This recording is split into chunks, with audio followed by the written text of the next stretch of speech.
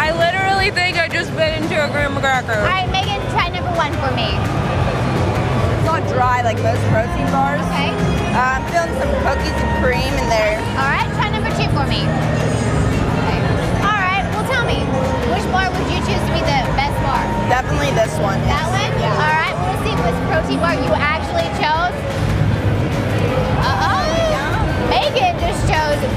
BPI as the best protein bar that there is. Which one is your favorite for you? This one. Definitely this one. This is really good. This one's a lot better. Which one's your favorite? Oh, this one definitely. BPI best protein bar. And Anastasia just proved it that BPI is the best protein bar out there.